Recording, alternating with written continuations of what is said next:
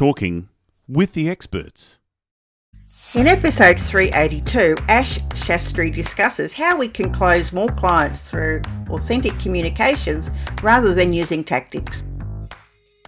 So, one of the most important things we talk about is your own type of communication. So, again, there's you know four different levels of the way you communicate, and this is about your own language use and how you respond to other people. So in this example, we're kind of moving away a little bit from public speaking or presenting, but more like, let's say, team communications. You can use that in social settings too. So you can either be a passive communicator, so you basically accept what other people are saying, and this has nothing to do with your personality style.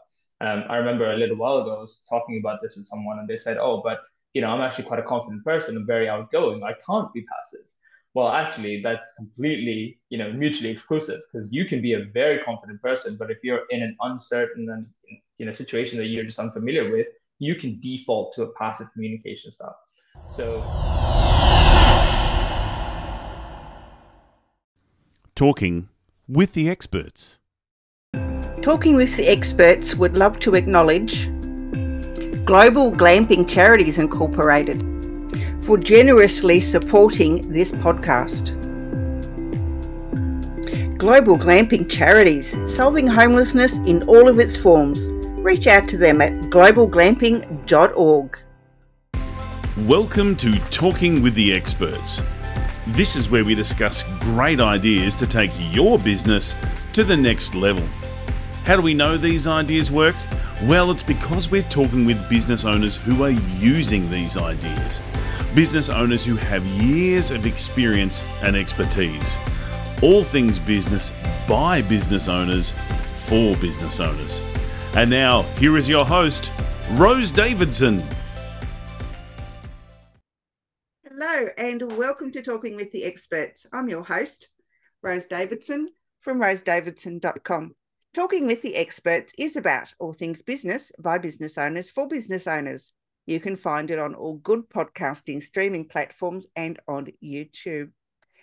Now, do you feel that you are a good communicator?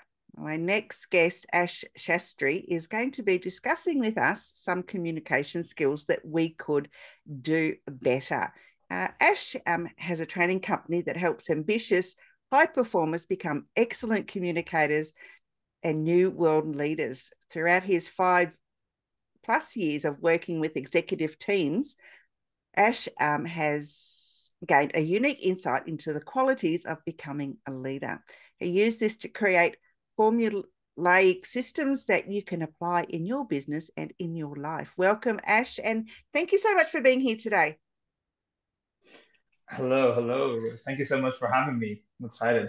So, how did you get uh, to where you are now in your business with uh, you know working with you know fortune 100 companies well to be honest i was a management consultant uh, for five years or so and working in a, a, global company so i had a lot of exposure towards that sort of realm and my job at that time was to train leaderships and the teams and making sure that they were able to communicate better they were able to improve their processes and grow their business so I had uh, a goal when I first started of saying I want to become the fastest like partner and the fastest time ever in that company. So I talked to a person who had done that, and that was 12 years. So I was like, okay, cool. How can I do it in 11? it sounds pretty weird, but that's kind of how my brain thought at the time. So going through that process, COVID hit, and then I realized that you know a lot of exposure of other people doing things. And i thought oh this person has done this in, in 12 years but other business owners are achieving what this person's achieved in four or five. So my target now changed right to figure out what i needed to do. So yeah, a lot of trial and errors later i found out that one of the things that i was actually very good at that i did for my work and that's the thing that made me a high performer was communication so I was able to communicate and articulate my thoughts much better than most people in, in my level. And I had the confidence to do it. I was able to speak better for the for the best part of uh, whatever I was doing in management consulting. So I figured that's the area I should go down and, and form a company on so I can help other people to do the same. Of course, like others, I started with talking to my friends and family and helping those guys out and people in my immediate circle. And um, yeah, eventually I started speaking in local events. And that's where I met somebody who was an ex ex ex client when I was in a job who was working at a company that I had trained at before. So he said, Hey, you know, if you started your own company doing this specific thing rather than an overall business process improvement, why don't you come and speak uh, at my company and help me out? So that's what got me into helping teams out rather than just individuals. So while I help individuals to become high performers and you know become excellent communicators, I now also focus on helping teams and companies to communicate their leadership better and retain staff because in the last couple of years that's mm. been a big problem for people yeah the, the great resignation has hit after covid so yeah it's I mean, I don't blame people for not wanting to go back and sit in an office where, you know, it's all full of germs. Why not just sit at home? And it's just as easy to work from home than it is to go to an office. Yeah. Yeah, 100%. And we found that a lot of times it's people's own fear, like the leadership team's fear that is driving them to not adapt to the new way of working. So by working with them, I can kind of you know take those fears away and actually say, well, how do you actually manage the people who are working in a hybrid setting, and how do you have the confidence to still be an effective leader in that new new system? Mm, yeah, hybrid's the way to go, I think. Anyway, how what, what makes a good communicator, Ash? So for me, it's all about kind of knowing what you're talking about, right? So this doesn't mean to say you should never talk about things you don't know, but there's a difference between the level of detail you go to when you know what you're talking about versus when you don't. So a common example I give is people who present because that, that's my world, right? People are presenting different topics and say they found a huge list of data set that they needed to analyze. Now, what happens normally is people take that data set, they analyze it, they have the analysis in PowerPoint, but they also put this massive table and they just you know, put it behind you. Cool. Let me talk you through this table. And then everybody's falling asleep while you're going through the whole thing. So if you truly know what you're talking about, and then you work on your own confidence level to be okay with not delving into the deep, deep roots of everything, you're able to communicate in a better way. So you can just tell people what they need to know. So for me, that's the best thing that I can probably tell people is before you go and talk, just think about what is it that the other person needs to know right? Once you've figured that out, you can just go into relevant relevant depth. Like if somebody was seven years old, you're not going to go and use all this massive words, and jargon, and try to explain things. Equally, if you're speaking to a PhD, you know, you're not going to go and dumb everything down. So just uh, understanding the audience will allow you to communicate in a better way. It's the first thing. Yeah, absolutely. I, I totally agree with that. And, uh, um, you know, how you speak to a child is certainly not how you speak to a professor. but Absolutely. I guess um, what about you know the people that have different ways of uh, of listening? You know, you've got the one that needs all the detail, and then you've got someone who just likes you know the bare bones of something, and then you know if they'll ask questions to get further detail. How do you communicate and differentiate your communication style to fit those people? Yeah, this is a really really good question. So, and with some of the training that I do, we've obviously got the four quadrants of the way people think and the way people understand. I think this is pretty much widely known. It's uh, there's a disc philosophy. There's you know multiple different color system, whatever that is. But there's basically four quadrants that people normally fall into. So it's usually the driver, the analytical thinker, uh, the expressive person, and the amiable person. So the driver is typically a person who's making fast decisions. They don't really have time for anything, and they want to uh, they want to be able to get answers really quickly. The analytical thinker is the person you explained who needs all the details. And the amiable person is happy to just have a chat, can't come to a decision as quickly as you might want them to. And the expressive person is just quite loud and it might get quite difficult to, to get a decision out of them. So these are the four types of people that you have to remember. In the training, we talk about how you can identify each of those types of people quite quickly, but a really simple way to do it is you have to understand where majority of the people that you speak to sit. So depending on the type of job you're doing, type of audience you have, type of clientele that you're working with if you're a business owner, you will know, right? If you're in a tech side of things, you can assume that a lot of people will be analytical thinkers. So if you don't know your audience properly, I would go based on the assumption that you think it is and prepare for that. Right. So this is if you're doing it for the first time after listening to this talk. so you would do that as the first instance, but you would have the information needed for the other three types in your appendix if you're presenting, or in your back of your mind if you're just talking to people. So you go with the assumption of the type of person that, that you're speaking to, give that information, and based on the feedback you get, and the questions you get, and the response, you can adapt for the next time. Um, the way I typically do it, and you know, statistically speaking, more people are analytical thinkers than any of the other three. Just just when they're uh, especially when they're talking about something or when they're responding to something that they're unfamiliar with, because people are tend to be risk averse, right? So you want to err on the side of giving a little bit more detail um, than you think that someone just needs to make a decision especially if you're in a sales situation, right? We talk about that as well. So if you're in sales or communication side of things, you don't want to just give like the tiniest bit of info and then say, is that cash or credit card? right. So you want to give a little bit more and then see how the feedback works. And so you can iterate your your going um, from then on. Yeah, make, that makes perfect sense. Um, I think, and you, yes, you're right. You've you've got to tailor your your conversation or your communication to suit the audience um, mm. And sometimes it's sometimes it's a bit hard. It, it's always I find a good idea to ask the organizer, um, you know, what types of people are sitting in the audience, because they because they n- normally work with those people quite closely. Yeah. they would probably have a better idea than what anyone else would have. So it's always a yeah. good idea. I, I, know I do a um, a webinar on PowerPoint presentations and communication. It was obviously one of the one of the parts of that because you need to be able to communicate efficiently to so you're not reading from the slides all the time.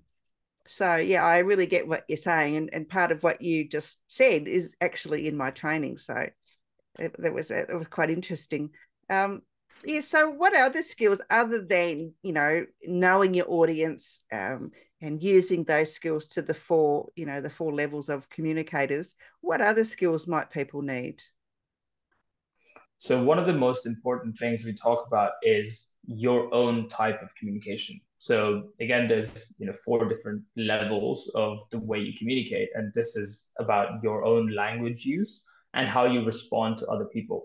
So in this example, we're kind of moving away a little bit from public speaking or presenting, but more like let's say team communications you can use that in social settings too. So you can either be a passive communicator, so you basically accept what other people are saying, and this has nothing to do with your personality style. Um, I remember a little while ago I was talking about this with someone, and they said, "Oh, but you know, I'm actually quite a confident person. I'm very outgoing. I can't be passive." Well, actually, that's completely you know mutually exclusive because you can be a very confident person, but if you're in an uncertain and you know situation that you're just unfamiliar with, you can default to a passive communication style. So that's the first level. And I, I can explain what each of those things, you know, how you can identify those are. But if you're a passive communicator, you typically are somebody who's malleable, right? You can say yes to most things that come your way. Our passive aggressive communicator is the next level. Uh, and I think, you know, if you leave notes around, or if you know somebody who leaves notes around, probably a passive aggressive communicator. Um, the next level is assertive. And this is the thing that I typically tend to push people towards to become an assertive communicator because that's somebody who knows their boundaries and knows their values and is not afraid to stick to it. There's a fine line, however, between become, being assertive and then being aggressive as a mm-hmm. communicator, and that's the fourth level. Aggressive communicators, like if you're a person who points a lot, or if you know somebody who points a lot, yeah, that they could be like teachers. If you think about it, there are some teachers who will be aggressive communicators just because they think that's the way to control a crowd. So I'd be like, you stop talking, like pay attention. So if you hear those kinds of people, aggressive communicators. So for me, in my experience, what I found is the assertive communication style has been the most effective in almost all scenarios. Not in every single scenario, but almost all scenarios. And the reason for that is you're able to communicate what you want to, uh, what you want to say, your viewpoints, without offending another person. Uh, typically, you you use this in times when you're in a conversation and maybe you're being challenged or you want to challenge somebody else's viewpoint. So you wouldn't, you know, if you're an aggressive communicator, you're like, hey, I think you're wrong. Well, you can't say that to me. How could you say that? Right? Like those things will evoke an emotional response from the other person that can quickly lead into an argument, falling out, whatever other problems. And the same example, if you think about a passive aggressive person, they probably wouldn't say anything in person there. They just accept it, move on, and then write them a message. I'll never want to be speaking to you again. You know, we're no longer friends. Um, if you're a passive person, you might just take it and just be sad. Mm-hmm. And then, you know, mull over an argument over your head in, in the shower the next day, like, oh, I should have said this. You know, if I had another chance, I would say this, I would say this, I would say this. But in reality, when, when time comes, you're not going to say anything. So if you push yourself to becoming an, a, an assertive communicator, then at that time, you're able to call that person out like, hey, what did you mean by that? You know, that's like, if I can give you one thing, like your listeners, one thing that they can take on board and use in their day to day lives is anytime they're challenged, anytime they feel like they have just been offended, or anytime they have a negative interaction, instead of flipping straight to you know a response that's a statement or an offend you know hey don't talk to me like that right? Even though you think you're standing up for yourself i would always advocate benefit of the doubt question at least one time. Because then you will it does two things. One you will already ask this person like what's going on? so you can get more context because maybe you're the one who's misinterpreting. But secondly the most important thing is it's like a soft warning check right? Like you're you are indicating to the other person that you did not like that bit of interaction. And by asking them to explain themselves, you might actually get them to just back down. So just by saying, hey, what did you mean by that? It's probably the best way to start assertively. And even if you're a passive person, you can do this because you're not directly question like, you know, saying something bad to someone, you're just questioning, hey, what did you mean by this? And that yeah. person will likely back down.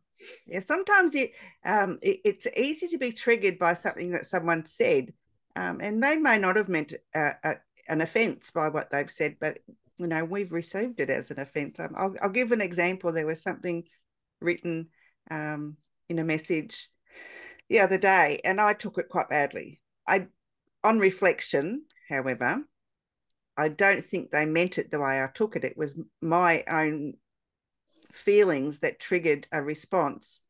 Um, I ended up deleting the response. However, I don't know if anyone read it. And so, um, you know, my bad. It was a knee jerk reaction to to something that um, yeah was just a miscommunication. Yeah, then that I think that happens quite a lot. One of the so we did a training um, maybe like six months ago, seven months ago. It was like passive to assertive training. It was like a small mass class type thing.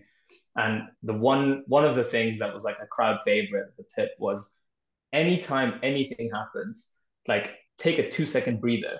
It's like before responding, just like the moment you do that, I think there's like Mel Robbins or someone who did some study and found that your brain focusing on something other than the immediate interaction that's happening will will give you other ideas of how to respond. So if you do that, that little two second pause, it doesn't feel awkward, even if you're in a face to face conversation, but it definitely works much better if you're in a text or written conversation in some way. But yeah, it just just allows your brain to not have that knee jerk reaction that then affects the other person. So you can just step back and say, uh, how can I ask a question here? You and know, i mulled over it. I mulled over it before I wrote the response, and I still wrote the response because it, it, affected me that much. Um, yeah, but but there's no but. It's just inexcusable. Yeah, yeah. I think one of the one of the things that I learned quite early on is like that somebody said. I don't know how true this is, but I've believed it, and it worked quite well for me. Is just whoever asks the questions controls the conversations. So if you ever feel, usually people, you know, like in the example you gave me, it's probably a power dynamic thing, right? Like someone's trying to get one over you, and you're like, hey, you you can't treat me like that. Like I'm not going to stand down for that. Mm, that's so, how I felt. That's how I felt. Yeah. yeah. So if you think about, you know, whoever asks the questions controls the conversation, because I don't know what it is, but you know, if you think about a teacher-student reaction, right? A teacher asks a question, you now have to explain. So I think it stems from that. So whenever this something like this happens, you could just step back, ask a question, now suddenly the power dynamic is shifted, mm. right? You're in a position of power, and the other person has to explain themselves, and that has that has worked for me quite well in the past. So that's been like a crowd favorite as well in the training we did. Yeah, in hindsight, that's what I should have done, but I didn't. So yeah, that you know. we all have these little foibles that we do and uh, get ourselves into, you know, things, do things that we know yeah. at the time even aren't really the right thing, but we go ahead and do it anyway because we feel so offended. Yeah, hundred percent. I mean, yeah, like emotions cannot always be checked, right? no. you, you you can know all this stuff, but sometimes it just yeah, goes in. Yeah, the emotion takes over. The lizard brain took over, and that was it. Bang! It was done. no looking Ash, back now. yeah, absolutely. So, would you? I mean, you went through and explained the four ways, or the four, um, you know, passive, passive aggressive, um, assertive, aggressive. You all that communication style. That was really great. Thank you for sharing. Um, what about as a listener, if you're one of those things? You know, so the person yeah. who might be a passive aggressive communicator is maybe speaking to a passive person or an aggressive person. How do we, you know, try and come to even ground, I guess? Yeah, this is a, a really good point. So I think everybody has the ability to swap between all of those ways. Um, the first way is to just you figure out what you are, and what I mean what you are is it's everybody has a default that they get to in times of crisis. So, however you handle crisis scenarios will determine what type of thinker or communicator you are. So, I guess the question is if you're a passive person and somebody aggressive is talking to you, which happens quite a lot, how do you then stand up for yourself? Or I guess, how do you come to some sort of alignment? Uh, the best way that I found is I was working with a client actually. This is probably better to give an example. I was working with a client who was facing the scenario where she was a really, really good worker at work, but she was very passive. She thoroughly believed that my work has to do the talking for me. I don't have to do anything else.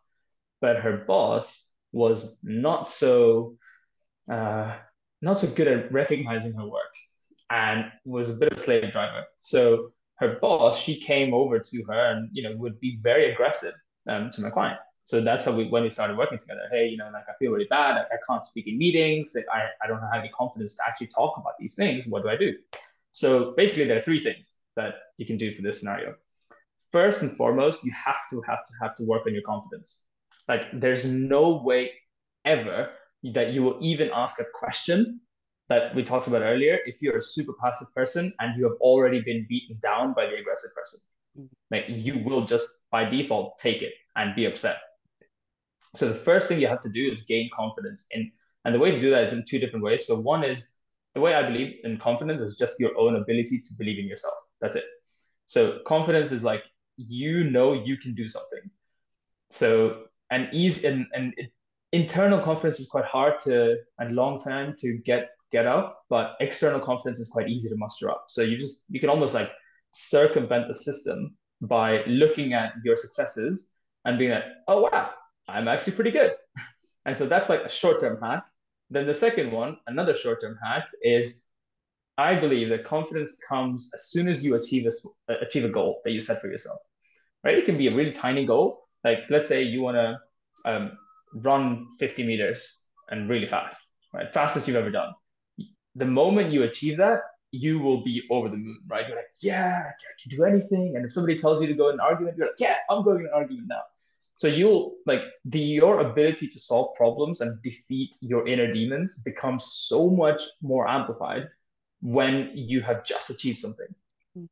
So what we did with her is exactly that. You combine those two things, look at your past successes and her work was very very good so we can be like look at all the things you've done right like have your peers done that no okay cool so you are clearly the best in your in your region like in your team great now you've done that what small goal can we set that you can smash through right now and so for her um, and it has to be something that you know you can do and it's not related to the thing that you're trying to tackle right so for her it was a physical one and i typically like physical ones because they're easy to to breakthrough.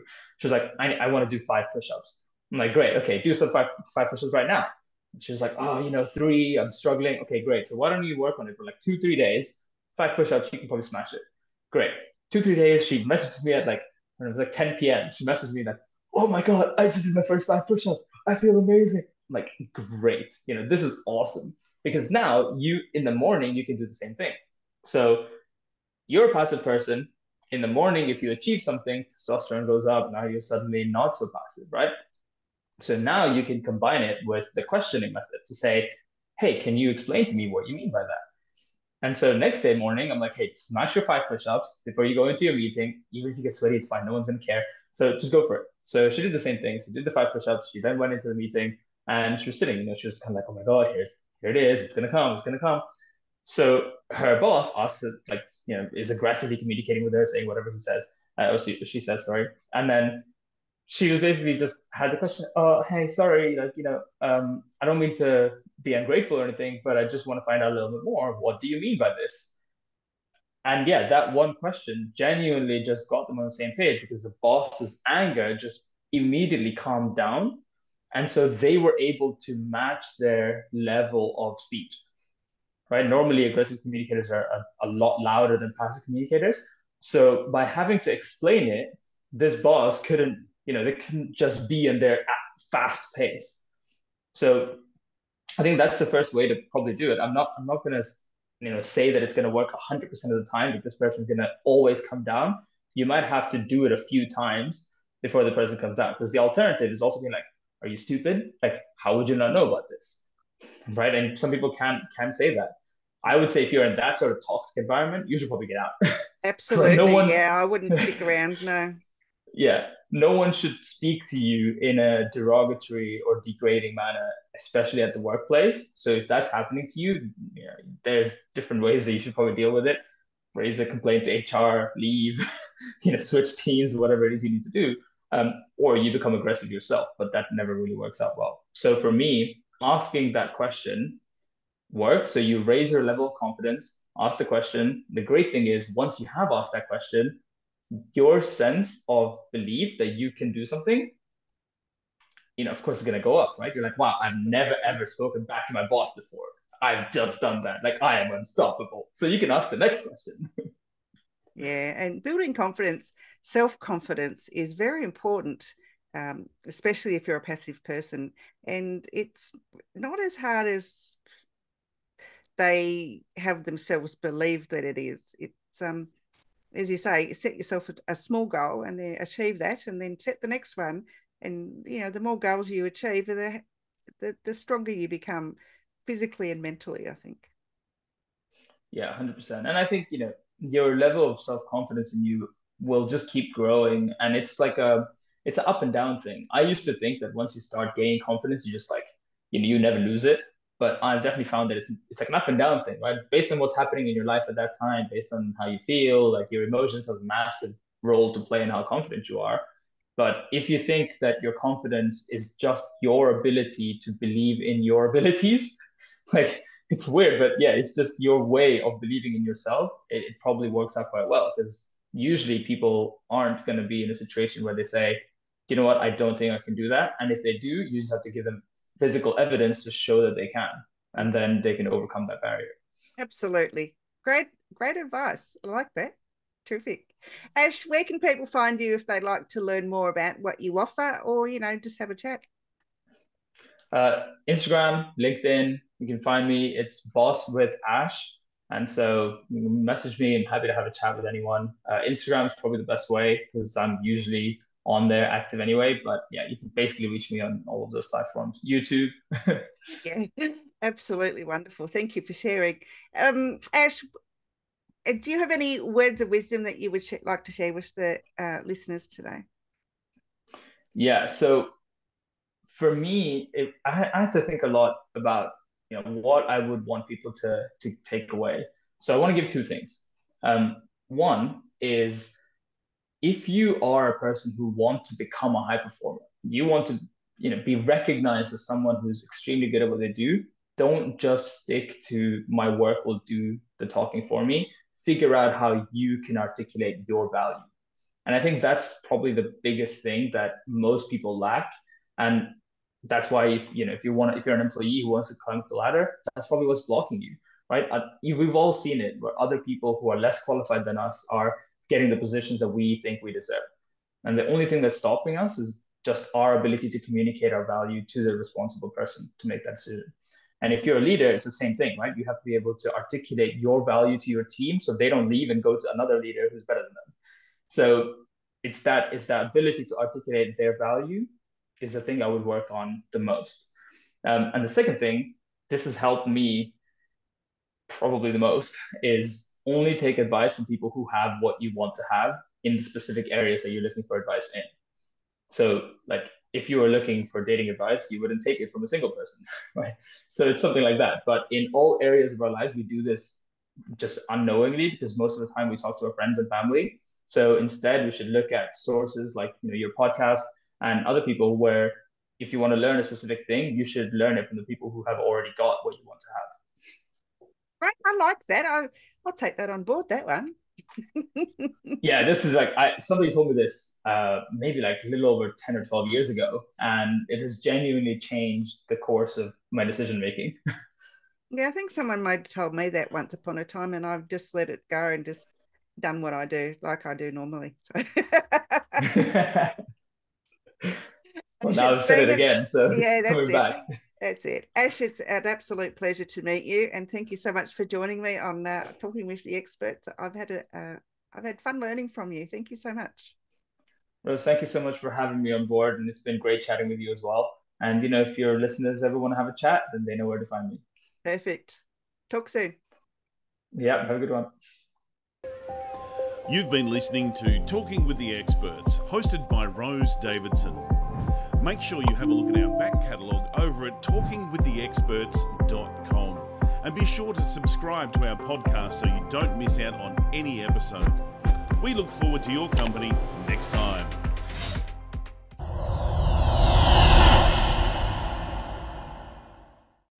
Talking with the Experts.